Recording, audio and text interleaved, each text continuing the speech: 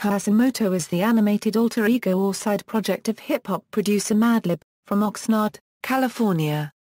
Quas is known for his high-pitched voice, and sounds as if he has inhaled helium. Another notable characteristic is the interplay between Quas's voice and Madlib's voice. Quasimoto was conceived one day in the studio, when Madlib decided to rap to his own beats. Madlib didn't like the sound of his voice so he decided to slow his recorder down, rap slowly, then speed the recording back up to produce Quasimoto's distinctive high-pitched sound. History Peanut Butter Wolf, DJ and owner of Stones Throw Records, heard Quas demo tapes and encouraged Madlib to release more tracks under this alias.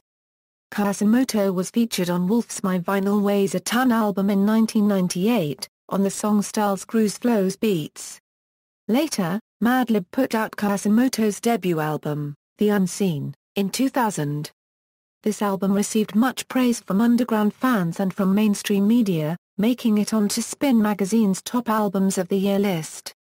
After the release of The Unseen, Madlib spent the next few years working on different projects such as Yesterday's New Quintet and his album Shades of Blue.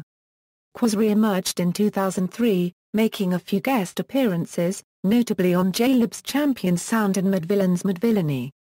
Quasimoto officially returned with the vinyl-only Bus Ride EP in late 2004 continuing his distinctive style of high-pitched rhymes and unorthodox samples.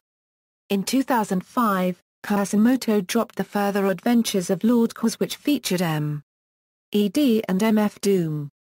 The album cover features a reference to Frank Zappa's debut album, Freak Out. A picture of super producer J Dilla, and a picture of Wild Man Fischer, who is also referenced in one of the songs. The voice of Melvin Van Peebles is sampled on several tracks from both albums. Quasimoto released his third studio album entitled Yes Sir Whatever in June 2013, which is a compilation of several previously unreleased works. It collects 12 tracks made by Madlib and Quasimoto over a roughly 12-year period. A few were released on rare and out-of-print vinyl, while a few others are previously unreleased, now mixed and mastered for the first time. Influences Early depictions of Quasimoto were inspired by the movie Fantastic Planet, specifically the Leechdoms who wore red masks with protruding snouts resembling skinny hippopotamus during the first Dom. In an interview, Madlib said that the atmosphere and sound on the Quasimoto albums owe much to the work of Alain Goraguer on the soundtrack of La Planète Sauvage. An early Quasimoto video features excerpts from the film, and the song Come On Feet contains a sample from its soundtrack.